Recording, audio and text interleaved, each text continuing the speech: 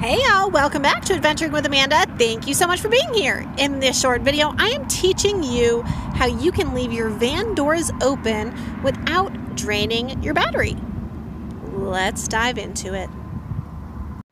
I drive a 2018 silver Dodge Grand Caravan. Dodge vehicles, um, as well as Chrysler, so like Chrysler Pacifica, Chrysler Town and Country, um, are pretty much built the same way. So um, I will be talking about the Dodge Grand Caravan, but uh, most minivans and other vans are built with uh, similar features, if you will. So what I'm showing you, you might have something similar in your van, even though you don't drive the exact same van that I do. This is the light system in my van. As you can see, I have a little knob, and then I have these two dials next to it that work my interior lights. This little circle right here means that the lights are off completely. So if you have a Dodge Grand Caravan, move the dial completely off till you can't move it anymore, completely off. So scroll the dial off so your interior lights are off and then you won't kill your battery by leaving your doors open. What kills your battery when you leave your doors open is your lights. So as long as your lights are off, it won't kill your battery. Many people have also asked me how I leave my doors open just a little bit like that when you have automatic doors. It's an equally simple solution. So there are my light switches. When you sit in your van, I have controls right here. It says on or off. So if I flip it on, my automatic doors are on.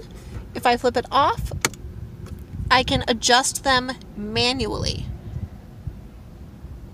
The nice thing about adjusting your doors manually is that you can open them to however far you want to open them, and the remote on your van, if you have it like this, will still work with the doors. However, the button in the side of the van to open and close the doors will not work. So you have to manually open and shut the door. But your remote will still your remote will still work. To recap, in order to turn your lights all the way off, scroll your dials completely down so they are off. Then you can leave your doors open without draining your battery. To put your doors on manual, You'll see right up here on your controls, hit it off for them to be not automatic so they're manual, or hit it on to use the automatic door features. Oh wow, you're a cute boy. So I hope this video was helpful to you in showing how you can keep your doors open without draining your battery. Yes, there's my collapsible toilet. It's like super awkward. But anyways, um, so, how you can leave your doors open without draining your battery, and how you can manually turn your doors on and off on the Dodge Grand Caravan.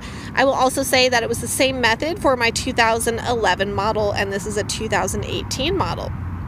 Thank you so much for tuning into this video. If you found it helpful, be sure to give it a thumbs up, subscribe to my channel, and Wynston and I will see you next time.